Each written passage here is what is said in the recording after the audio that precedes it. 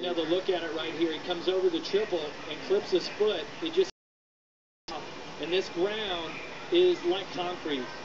It literally is hard as rock right there where he lands. Another look right. You see his right foot's off, and then it pulls him off. Takes his feet above his. And was the right decision to get away from the bike. Then this 18-year-old.